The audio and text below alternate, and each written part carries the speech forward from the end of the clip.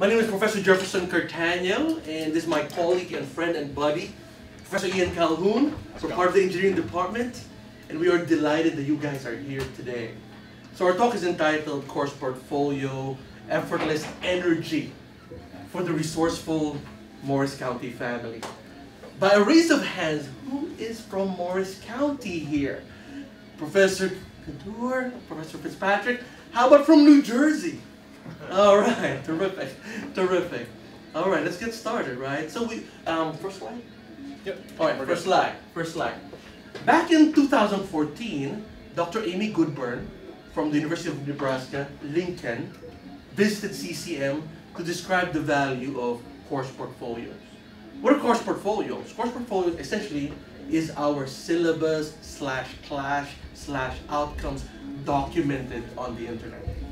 So the goal was anything and everything that we do in engineering, for example, should, could, would be documented. Hold on for a second there. Professor Blum, come on in. Professor Tamborelli, come on in. No, this is not temporary. Oh, professors, come on in. This is uh, Russell Gambino. He's Professor Gambino. new in our department, so. Welcome, Good, welcome. good. I guess Thank it over there. All right, Thanks thanks, for Neil. having us. Mr. Gambino, welcome. All right, we're just getting started. So once again, Dr. Amy Goodburn showcased to us the value of course portfolios because it's a way to document what we do in class. You know, once in a while we get observed in class. Once in a while, the students make comments about us either on Rate My Professors or they go to our department chairs and describe how we do. But course portfolios are a way for us to document the experience of the students and document the outcomes.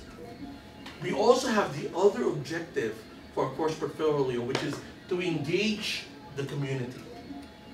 How do we engage the community? How do we raise engineering awareness with the community? So basically, Ian and I were brainstorming, and around that time, over in my home country, the Philippines, Typhoon Yolanda just happened. So there were 7,000 casualties.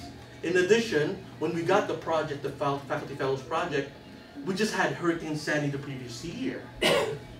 So we were thinking perhaps the best way to engage the community is to talk about energy, to talk about things that we can do for a normal family that they can do to alleviate post natural calamities. All right? So next slide.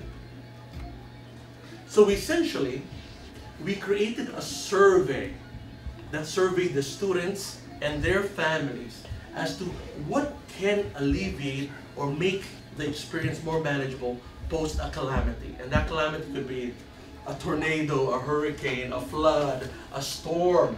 So you terrorist attack, exactly, power outage, uh, unusable water. I'm confined to my house. Entertain me. Let's get some energy. They ran out of batteries, stuff like that. So we created a survey, and on the next slide I will show you the survey. But before I do so, before we do so, something that you may want to realize is the definition of engineering. What do we do as engineers, right? As opposed to scientists. Scientists add to the body of knowledge. All right, so they enjoy that. There's lots of ooh la la when they add to the body of knowledge. Oh wow, that could be good. That could be good. However, with engineers, no matter how complex the problem is, we love to solve problems now. We want to help humanity now. We want to advance humanity forward. So if it means I'm bored, we need to address that as an engineer, right? If I need to automate things, we need to address that as an engineer. I have unusable water. We want to address that as an engineer. The store ran out of batteries. Hopefully they don't. we need to address that as an engineer. Another one is how do we protect engineering of the future? We need to plant the seeds now, Professor Blum. We need to raise awareness about computer science and engineering amongst the kids. So how can we make engineering fun? All right, so those are our objectives, right? Engage the community and then ultimately integrate it into our classes. So we, we identified two classes where this will be integrated, right? So whatever three projects we're going to showcase to you today, they are integrated into two classes. One is the tech project class, Professor Colquhoun, and the other one would be my Physics 103 Concepts of Physics class. There's also a third class I'm planning to integrate a few of the projects in. It's called Instrumentation Measure Inner 124. Dr. Hudzik, how are you doing? Welcome again. All right. So I think we're off to our next slide. Next slide is the survey. All right. So when you look at that survey, look at your screens, guys. When you look at that survey, the survey essentially comes in two sections. The first section is what out of the 10 or 11 things here can make your experience post a calamity more manageable? And the second category is which of the five, six things, if you are quote unquote a senior citizen, which of the five, six things can make your quality of life much more manageable as well? So let's go back to the first section, right? So we surveyed students and their families, and as you can see from the results, they mentioned generator, uh, but a generator any, anywhere from $800 to $3,000, right? As a CCM community, as CCM family, it's hard to satisfy that, right? And it's kind of too expensive, right? But we have a way to address it using lemon batteries. All right, so we'll show that to you in a second, right? Another high runner there, is that fun, right? Another high runner there, right, David, would be this water filter thing. All right, water filter thing. For some reason, we still have many communities over in Morris County. Come on in, guys. Come on in, Professor. Professor Hart, how you doing? Sorry. Come on in, come on in, guys. Come on in. Welcome. Course portfolio. Were these blank surveys and the students just wrote in their choices? Actually, no, we had multiple choices. Correct. Some were writing, yeah, there was a category there for writing. So that's where we got pizzas and Russell. comic book, and we didn't have that. And those were the write-in. Oh, yeah, yeah, yeah. And for the folks who came in a little bit later, guys, um, this is the 3D printer. This is a gigantic MakerBot, which Professor Colquhoun will talk about more later. All right? So after we talk about the survey, I'm going to go to the demonstration, and it's going to be interactive. And hopefully everybody here wants to burn some energy, wants to burn some joules or calories. Of course, Dr. Hudson knows about joules and calories, right? It's all about thermodynamics, right? Chemistry, chemical reactions. All right, but just to continue on with the survey, we don't have an overhead in this classroom, right? But as you can see, the center monitor has the survey. So the high runners were water filter, a generator, and of course the solar charger kit that's going to be a little bit more expensive, so we weren't able to accommodate that. So what we did for the past couple of semesters is really, you know, put together our heads, you know, figure out what we can do for the community that can, we can integrate in class, but CCM families, hi Shelly, CCM families can do on their own. Because that's what engineering is about. It's not about complexity of things, it's about addressing problems. All right? If it's all about making a pencil, then that's what we do. We make a pencil for someone. All right? That's what engineering is all about. Like the toilet, automatic toilet flush, I always use it as an example, right? That's very simple electronics engineering. That's just infrared transmitter and receiver. And we, when you are this far, the intensity when it reflects back is not as high. But when you're there, when it reflects back, it's high. So it turns on, and when you leave, it's less high. So it, it, it shuts off. So you can actually do this for the meals in, in, in, in the in, in, the in the room here, you can actually go to our restroom and try to kind of do this. You can actually activate both of them and just go like this. Isn't that kind of fun, right, David? But again, that's the beauty of what engineering does, right? Sometimes we need to use complex chemistry, complex mathematics, right? But ultimately, it's all about solving problems. All right, so that's a good segue to our show and tell. And again, that second part of our survey, which is to address the needs of senior citizens. Quality of life, we put certain things there as options. And one of the things that we put as an option, which I think is kind of meaningful, is sometimes when you have a natural disaster, you're elderly, you're using a walker, you might need a spotlight for your walker. No one has done that before, right, Anita? Right, Neil? And no one has done that before. So as you can see, we have Chuck Norris Texas Walker Ranger right there with 3D printed flashlight oh. mounts which we will talk about. All you need is a flashlight.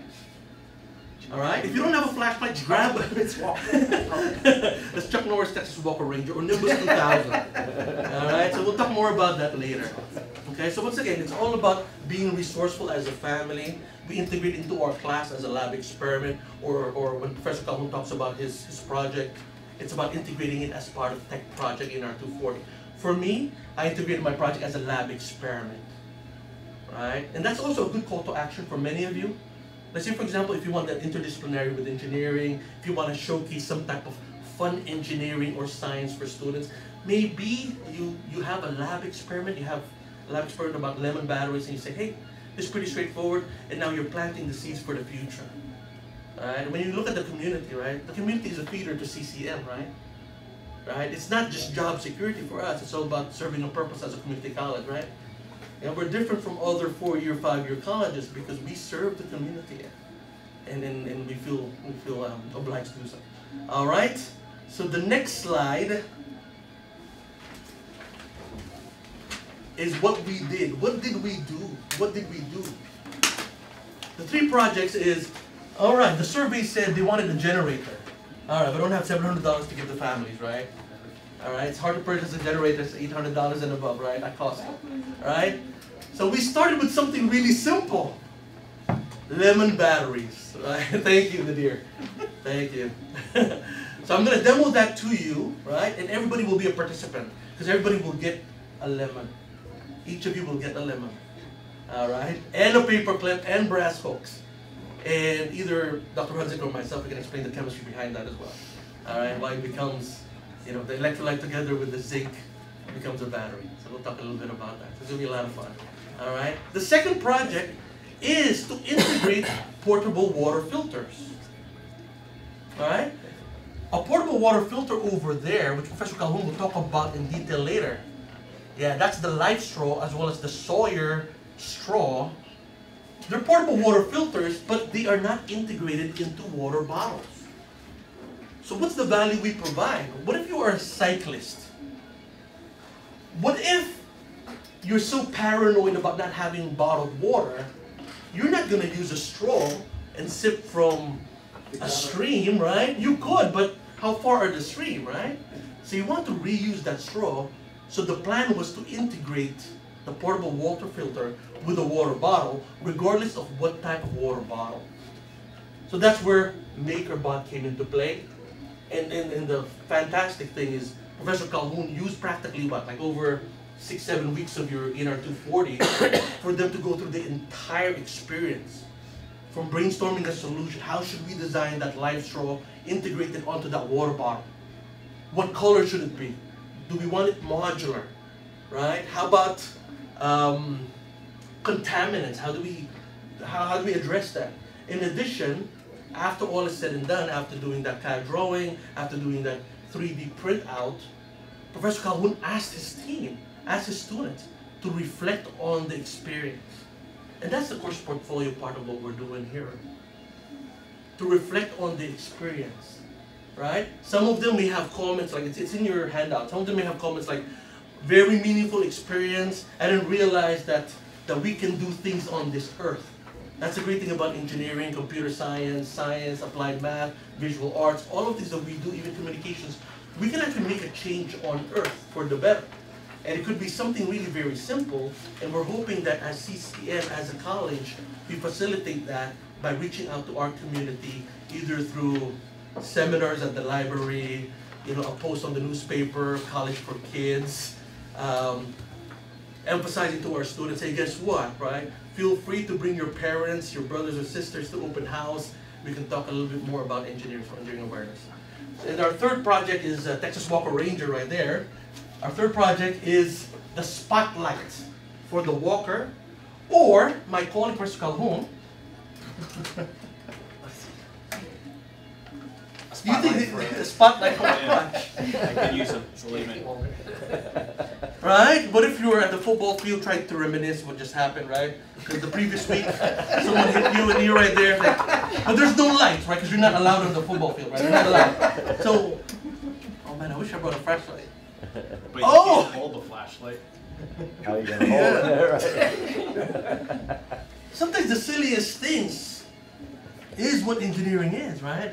It's all about solving problems then. All right? And as you can see, when we talk about that third project later on, you realize that it's such a very simple thing. Someone just had to dream up the idea. You know, it's kind of like for miners, if you know of any miners today or in the past, just integrating that flashlight to their helmet. When did that happen, right? Mm-hmm. How amazing is that, right? Integrating the flashlight to their helmet. So little simple things. Okay? All right, next slide. All right, we'll talk about the build materials later. Um, Next slide, thank you. Terrific. All right, so we're going to do the demo right now. The wonderful thing about wet cells or batteries is that it incorporates chemistry, a little mathematics, and lots of engineering. So the chemistry part, Dr. Hudzik and I, we can talk about it, right? The mathematics part is quantity, concentrations, chemical reactions, stoichiometry, a lot of math there. And then the engineering, make no mistake, the engineering aspect is it solves a problem. It solves a problem. We can create a battery using a lemon. And using the principle of Ohm's law, if you put lemon batteries in series, you can add up, you can add up to the battery need that you want. One and a half volts, three volts, four and a half volts, six volts, nine volts, so on and so forth. Let's go to the next slide, and then we're gonna talk a little bit about our showcase and interactive demo. On that next slide, you see two lemons, right? And you look at those two lemons, right, you will see electrodes in each lemon. All right, the electrodes in one of the lemons essentially a, a paper clip. Paper clip. The paper clip is zinc coated, and a brass hook. Brass is of course copper, right? Almost like adulterated copper with some zinc in there, right? So it's practically copper, right? So the brass hook is like copper, while the paper clip is zinc. So when zinc interacts with the electrolyte, which is the juice inside that lemon, ions are freed up. That's oxidation, right? So when those electrons are, free, uh, are freed up, it will go to the copper, and then when those electrons go through the copper, it will go back to the electrolyte, uh, and then it combines with the H pluses in that electrolyte. The electrolytes are acids, right? So acids have a lot, a lot of H pluses, right? Hydrogen concentration. So there is some H2 bubbles that create, that's created inside that lemon. All right? As you can see with two lemons, based on those lemons, for example, we get about 0.67 volts. Can you run things in 0.67 volts? Uh, not too much, not too much, but one and a half volts you could. So one and a half volts, uh, if you look at slide there, you can run your wall clock with that. That'd be so funny, right? Would you have like a lemon right next to your wall clock and it's running after a collapse? That's kind of funny, but you're planting the seeds for the kids there, right? Hey, dad, guess what? Hey, mom, guess what? I'm running the wall clock using a lemon. Wait, did we buy a lemon clock from Home Goods? No, no, no, no, no, no, no, no, no, no. The clock works, Daddy. The clock works. but instead of using a 1.5 volt, I'm using 3, 4, 5 lemons. So depending on how sour the lemon is. What about the size of the? Because in Italy and Spain, they're like that. Yeah. so with that, that would give you more. That's right. Yeah. So No, Dr. Hudson and I've seen them, myself. right? Italy- They're massive. That's right. So you have to test. Space station. Yeah. Take the lemons there. Uh, yeah, some countries in the Philippines it's calamansi. It's like smaller lemons, right? Yeah, right. But that's why you have to test them. So one of the things that we want to do, the moment that they ask for our quote-unquote app note or they want to use our lab experiment, not only as part of the CCM courses, but to use it at home, one of the things is, uh, guess what? Uh, you may want to invest in a multimeter, you may want to invest in this, you know. Take a computer, maybe you want to download the compiler here, but I mean, there's little things that we can plant the seeds now, right, so that they have like a mini lab at home. All right. When it comes to the lemons, of course, they just go to the grocery and get the lemons. All right. Good. So once again, two electrodes.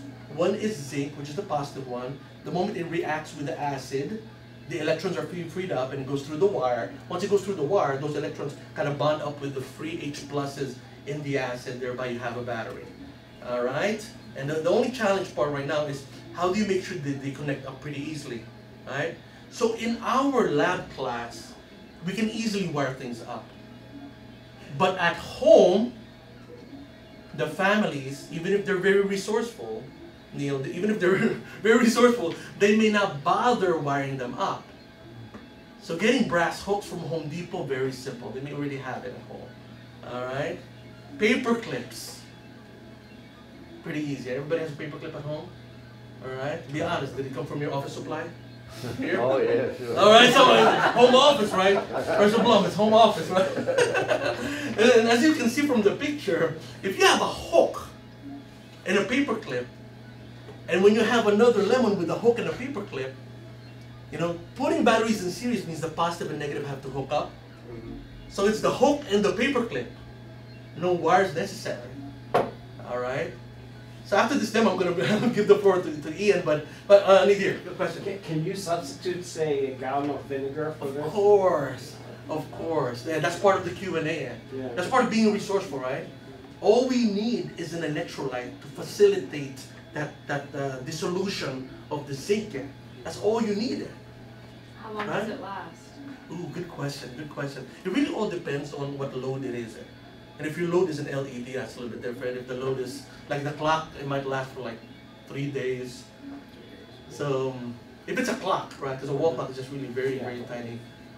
Yeah, Steve, go ahead. And we can eat that lemon, right, after we're done? You could, you could, right? We were all, Professor Longo, we were all Make born lemon with antibodies. The skin's. I have an antibody. We have a liver and kidney, right? So, what's some rust inside that orange? Right? so once again, guys, the key is having an electrolyte. The paper clips are always available. Those brass hooks are always available. Any copper wire will be fine also. All right. Okay. And that electrolyte, the stronger it is, the better. And sulfuric acid is very strong. Yeah. All right. You know, our stomach is, is lined with sulfuric acid. That's why we can break down things then. All right. But sulfuric acid is very strong, right? But if any vinegar would be good, lemons, all that, right? So now let's do the demo. Okay. All right. Let's uh. Give me one second. Let's burn some calories, guys. Grab a lemon, a paper clip, and a brass hook, and a multimeter. All right. So just grab one lemon. All right. Grab a paper towel as well. A multimeter. Yeah. I think we have enough for everybody. All right. Because uh, ultimately, at the end of our talk, if we have time, a lemon, a meter. The meter you have to share. All right. So you- there you go.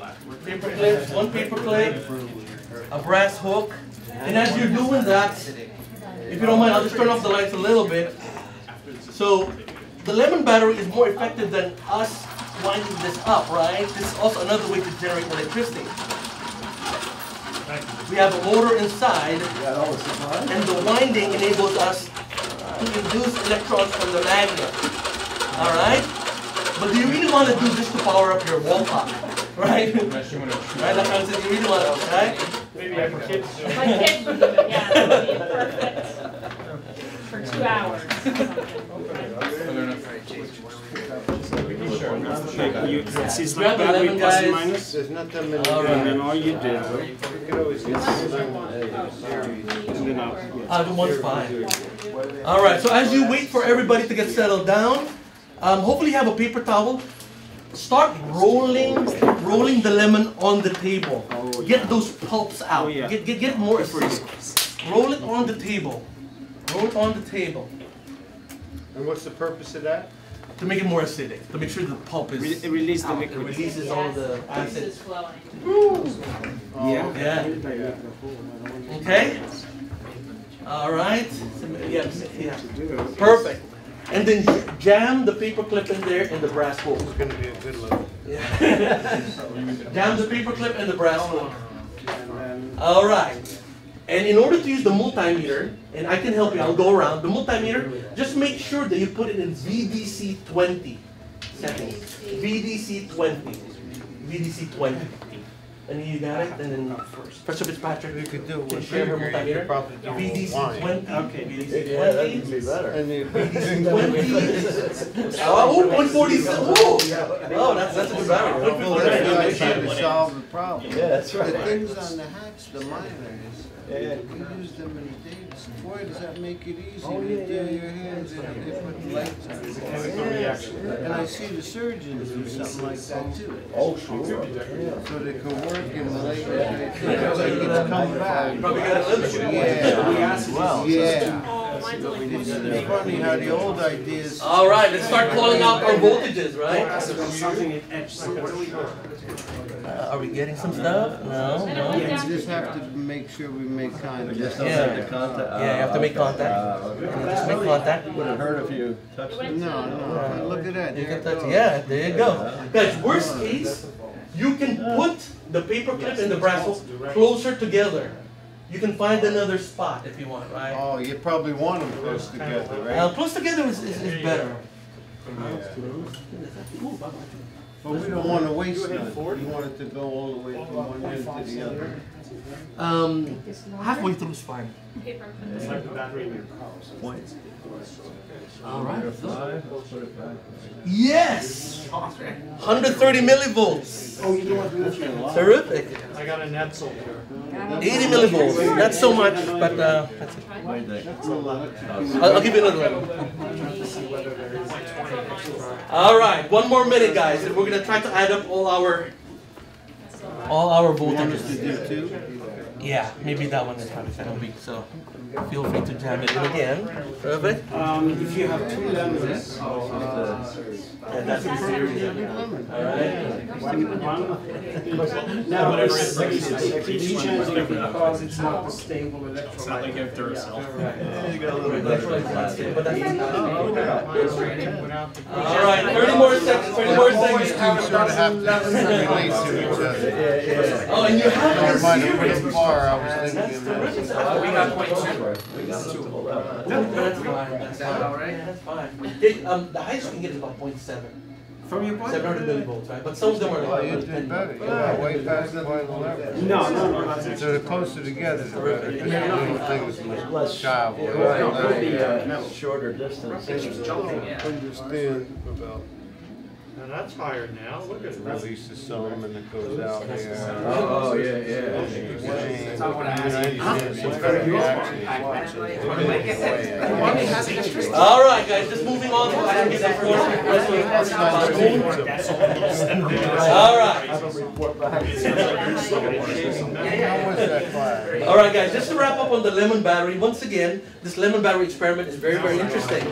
Because some of you probably got 0.10, 0.11. Raise your hands if you got 0.10, 0.11 volts. Yeah, he got. Terrific. 0.10, 0.11 volts, terrific. Who got all the way above 0.4, which is 400 millivolts? Point two eight. 0.4, 0.28 is 280 millivolts, that's fantastic. How about 0.45? I, we got, I think at one time, much more than that. Correct. Terrific, terrific. Uh, it was fluctuating. That's right, and there's a reason for that because the acid is fluctuating, right? It's not settled down. So if you if you use if you use vinegar, for example, it's more settled down. So just imagine, right? If you have 0.3 volts, 0.4 volts, multiply that by 10, for example, you got a 4 volt battery, which is essentially similar to three 1.5 double A's, right? So if you can get to three 1.5 double A's, you can probably run a lot of different things at home, except for a motor, for example. All right, so that's the fun part. And if we have time towards the end of today's session, we will try to hook them up, and you guys are doing it. So Professor Longo and Dr. Hudson, what'd you get for three hooked up? Uh, point two eight?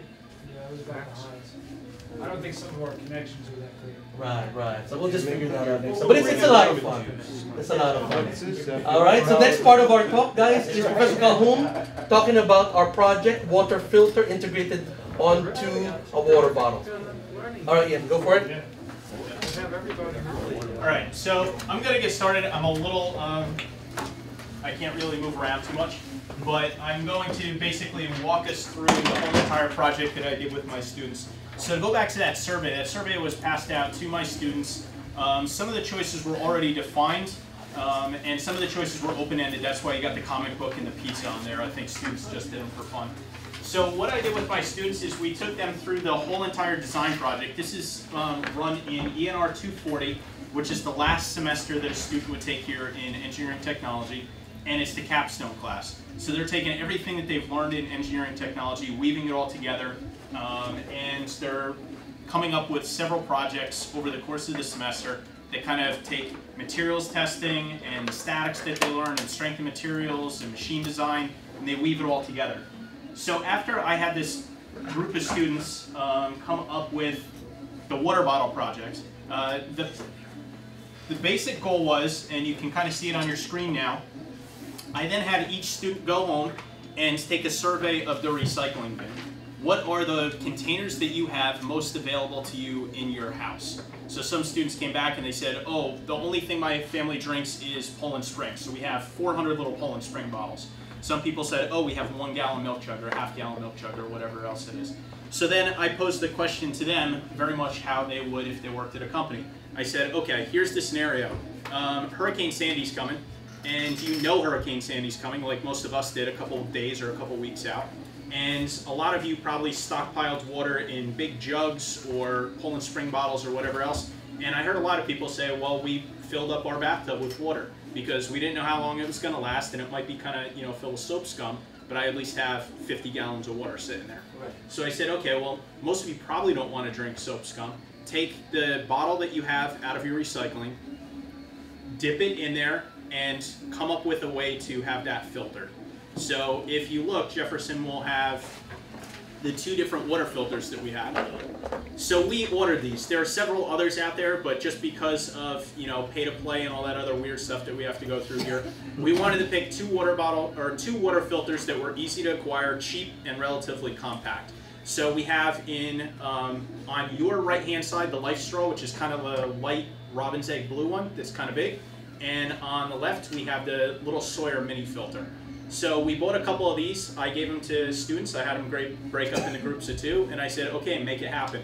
So what they did is each student would bring in a couple of different things. So uh, on the bottom there, the middle shelf, the Arizona water bottle, this is just a proof of concept. So what the students had to do is step one, figure out what threads those are. There's really no standard, okay? One Poland Spring bottle is different from something else. So the cap that Jefferson sold in that kind of simple gray cap, that is just a student drawing it, measuring the threads, okay, reverse engineering what those threads are, and then coming up with a simple cap and seeing if it would screw on, okay?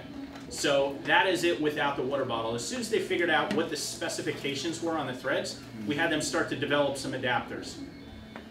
And I gave them extra credit if they could have it adapt to more than one water bottle. So Jefferson, if you want to flip those up and look at the bottom of them, you notice there, there's a bunch of concentric rings students would come up with as many different things as they could. So I think that red adapter will fit a Gatorade bottle. Right. It'll fit um, it'll fit one of these. Okay.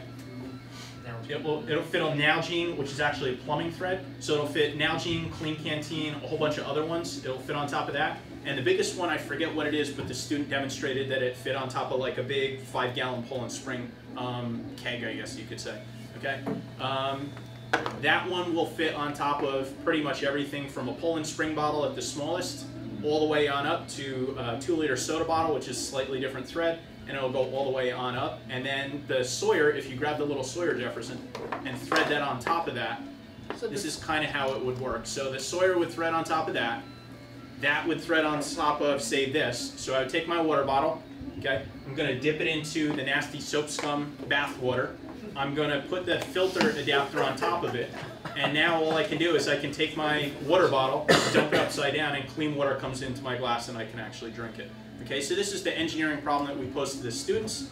We had them develop all these different adapters, and then it wasn't done. I said, okay, bring these adapters home and have your family test them out. Have them solicit feedback. So I think in the packet that you have, some of the feedback is from the students, some of the feedback is from um, families, but that was basically the engineering project. And students came up with a million different ways to actually have this happen. Um, I kind of let them say sky is the limit.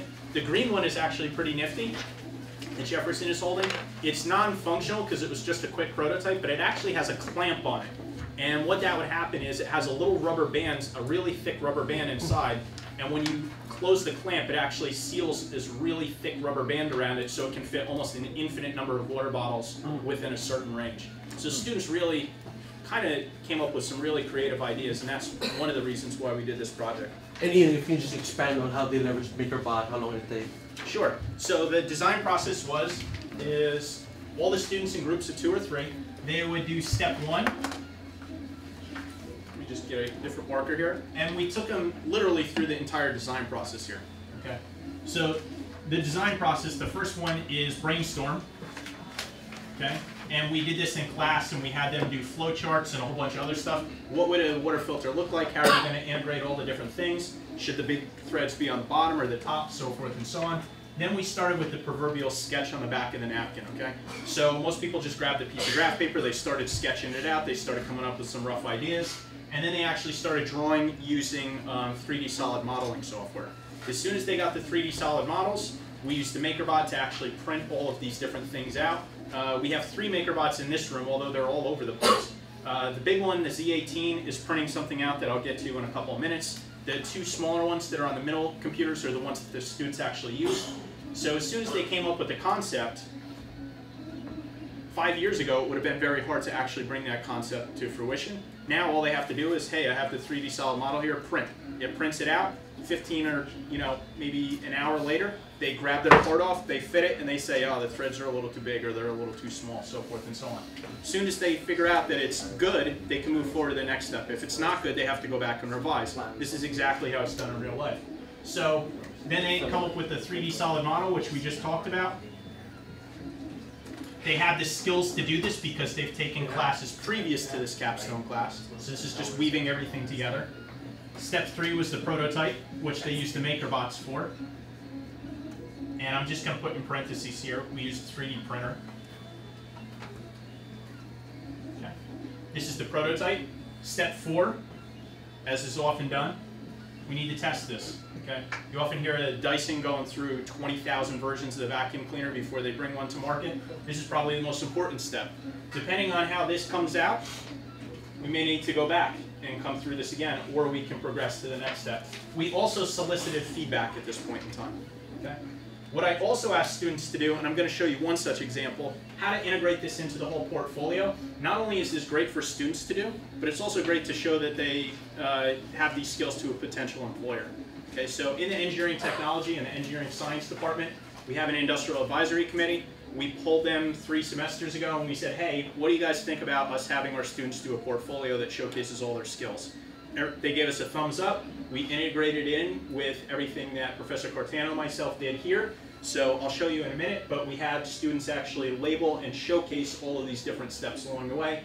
I had them shoot a video as a presentation at home, testing these different things, getting feedback from family and friends and everything else, and so forth and so on. So I think this was a pretty good learning experience for our students. It got them to think about how they could better themselves and the community and help people out. It's a pretty simple project and you know water filter adapter, but it's something that I think is, is pretty real um, that students have firsthand experience with. How did you get the plastic? Don't worry about this. I don't need them. How did you get If I had the flashlight on there, I would have seen that coming. That's right. Smart guy. That's right. So these are just some of the adapters, and you had a question? How did How I? did they mold them out of the plastic though? The 3D printer just prints them. Literally, they just, Uh, it's plastic? it's plastic. So we'll pass those adapters around, but this 3D printer is printing out um, in plastic. ABS plastic right now. So this would not be the final product, um, and we started working on that towards the end of the semester. So these are from the printer? These are from the printer. Absolutely. All of these are from the 3D printer. And for perspective, if you can see, the load for this printer is coiled plastic. Oh, okay. It almost looks like a spool of weed whacker wire, really. It's Yeah. really, yeah, yeah. yeah. And it's layering. Okay. Oh, yeah. So the student would come up with the sketch, then they would come up with the solid model using uh, software that we have here. So as soon as they came up and conceptualized that model and said, yeah, this is what I want, it's so simple with today's technology. They can just, instead of hitting print and coming out with a piece of paper, they hit print and they come out with the, the pen cap takes an hour? or the top of the water bottle. And depending on the size and the complexity of it, it could take anywhere from 15 minutes to maybe three hours to print something like this. So they would hit print, come back the next day, pull their parts off the printer, and then actually start fitting them together and say, hey, yeah, this works, or no, you know what, I think I messed up the measurement there, and it just doesn't, it doesn't work. So we went through this process a couple of different times, so here's just three different versions that you see on the screen. Okay. And I'm just going to now show you one of the student portfolios. I'm not necessarily saying this is the best, but it's kind of uh, representative of what I had the students do. And I actually used this as a grade. Okay, so I did not have them submit their final project to me. I had them actually upload it to their portfolio. So this is just one student's portfolio. Um, it could be a little bit more polished. Is that on the screen?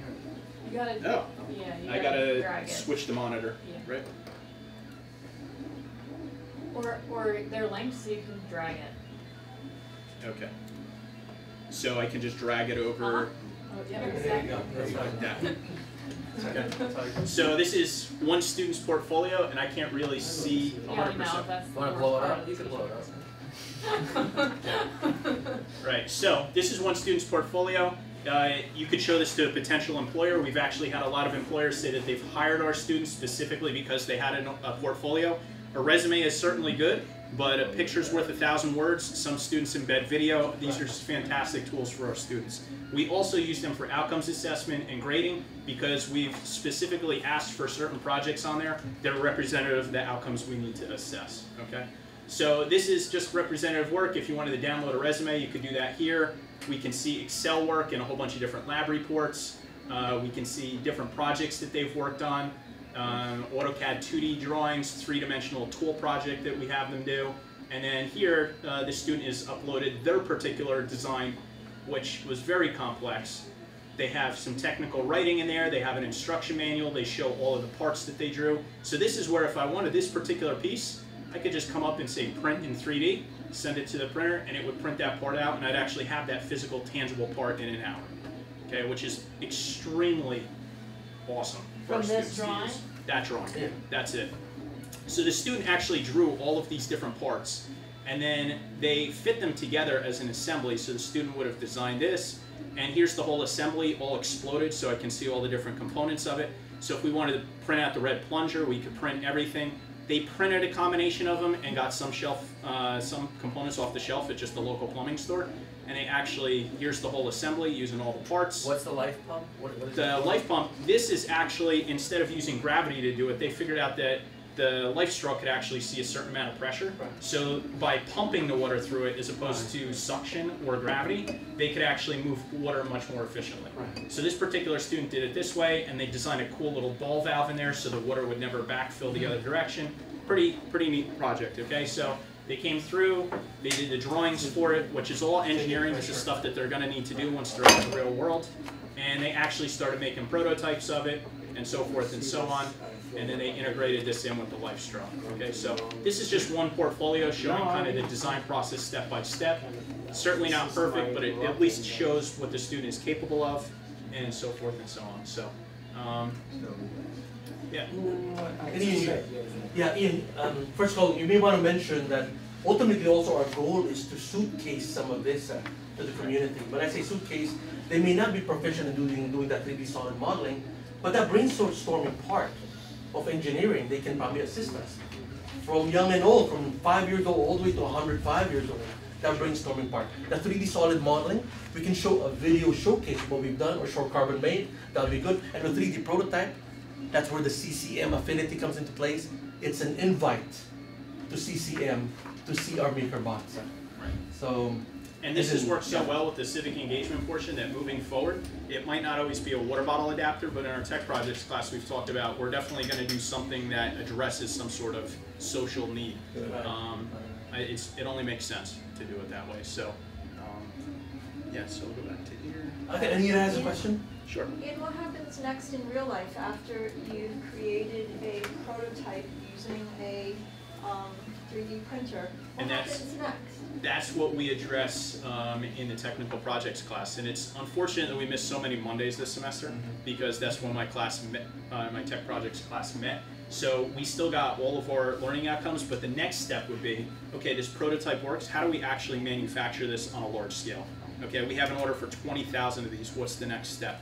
Um, the students would then take that exact same file that they used to make the 3D print, and we would almost make a, a mirror image of it. Okay, and we'd have the students do that, and we would have them CNC the male and female halves of a mold, and then we can injection mold it, and we have all the stuff to do that here. We have the CNC machine, we have the post-processing software. So the next step, and what we're gonna do in semesters in the future, is, okay, now we have this model, let's make the molds, let's pick some environmentally friendly, maybe biodegradable material, let's injection mold this, we're good to go. So, that's, that's And that. Anita, just to add to what Ian is saying, one of the things that high schools could be doing also is as fundraisers.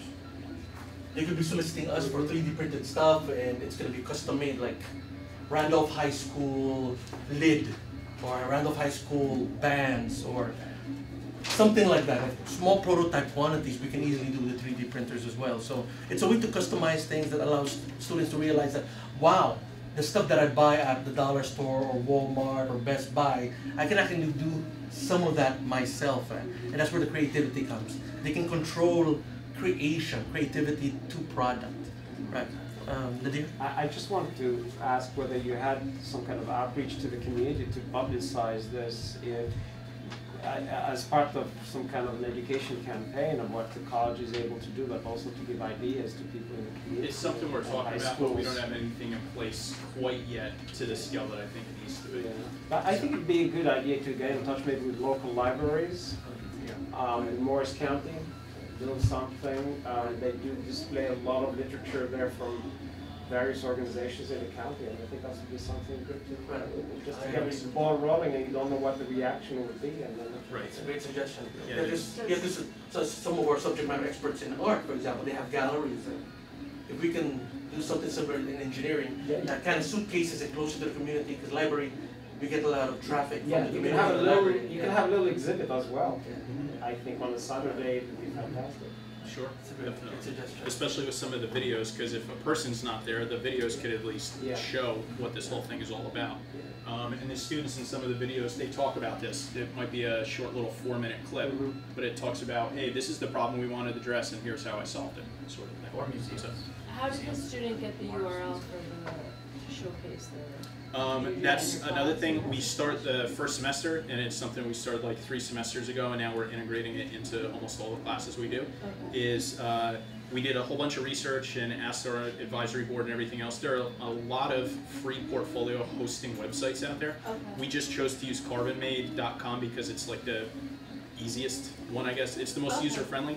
And the reason why specifically we chose Carbonmade is because a lot of the file formats we as engineers use are these wacky file formats. They're not like a picture file, they're like a weird file. It's one of the only ones that can handle all those different ones. Okay. Um, so that's the reason specifically why we chose that one Carbon, uh, carbonmade.com. okay. So they would go on, they would create their own URL, uh, upload whatever work it is that they wanted, and that's theirs. They own that. But we just they supply us with the link, and I will just check it at the end of the semester and say, okay, yeah, you did this project, this project. They don't have to pay for it?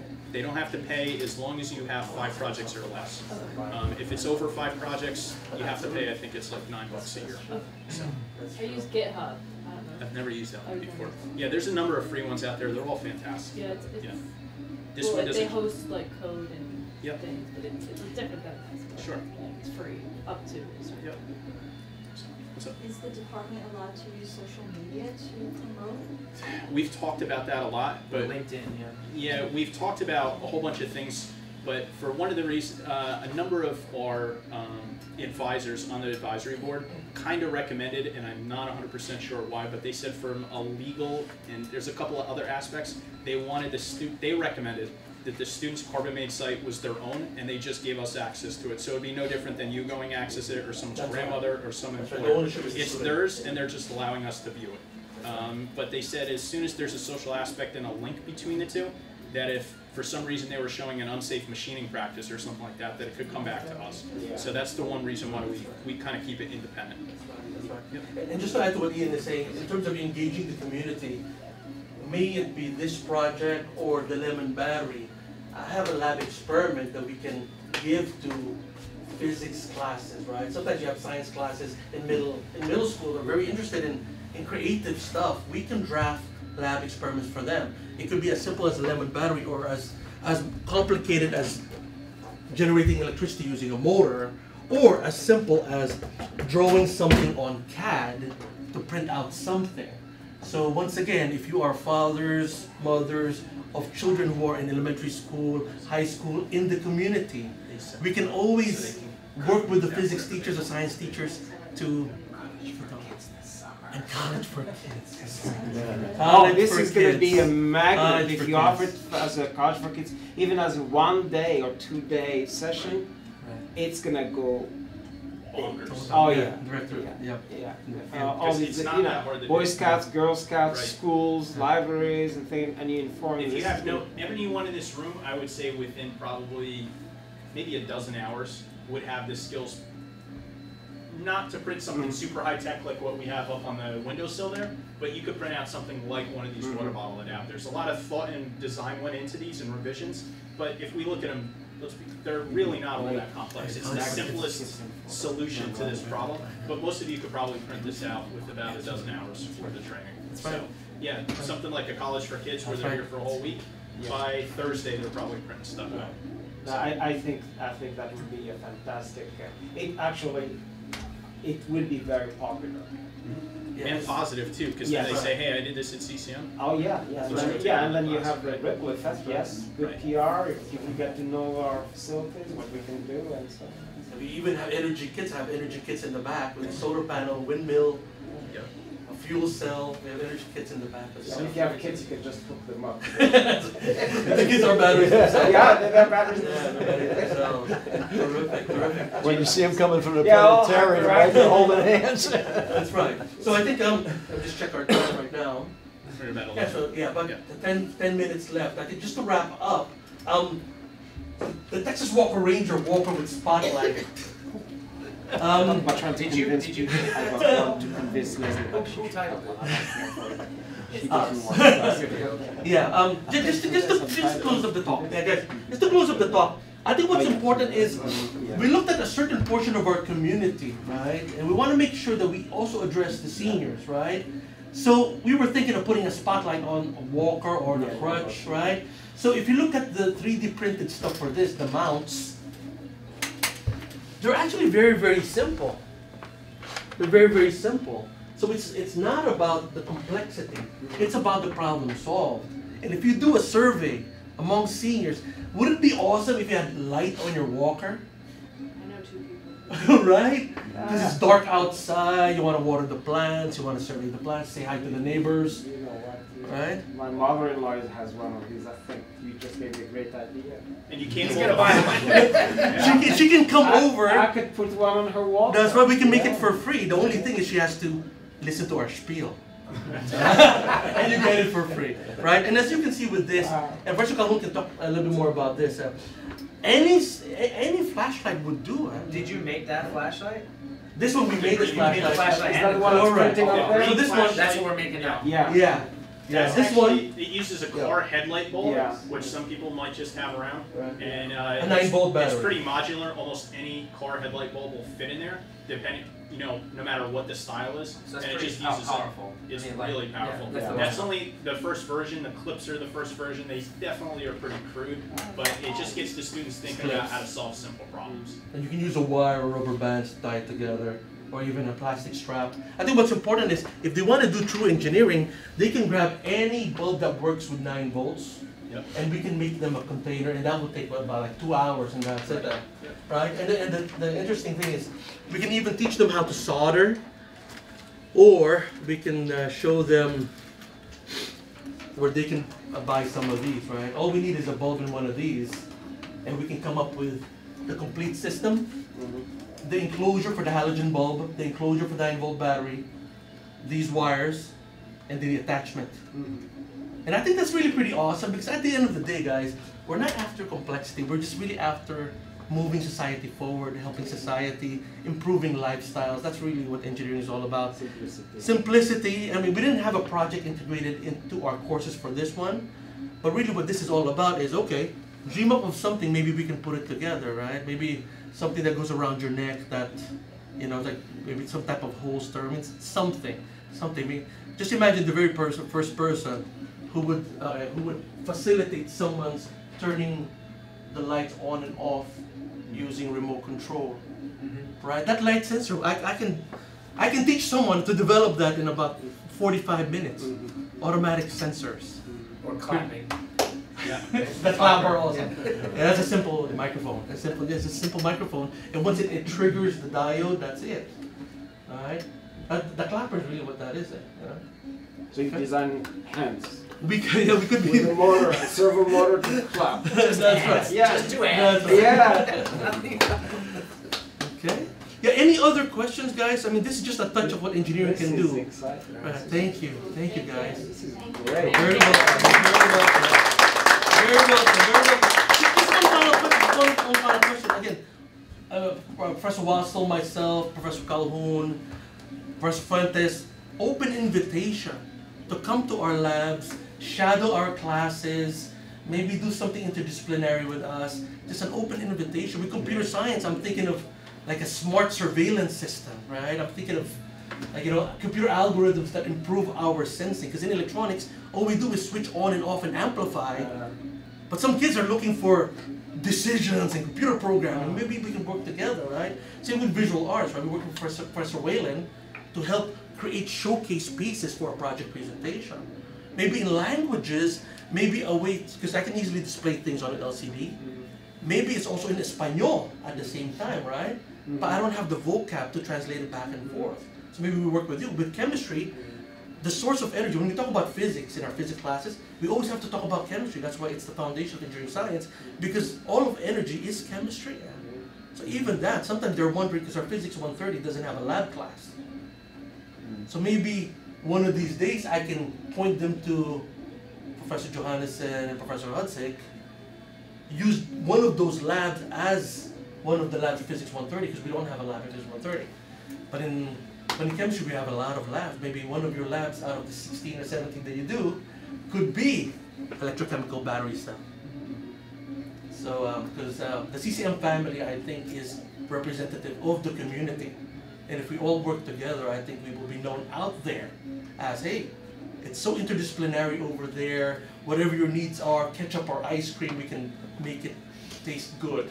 right? Just Right? not together. Right, not together, not together. But thank you for your support, and you know we, we've been excited for over like months now to present today. It's infectious. yeah, thank you, thank Yeah, you. very good.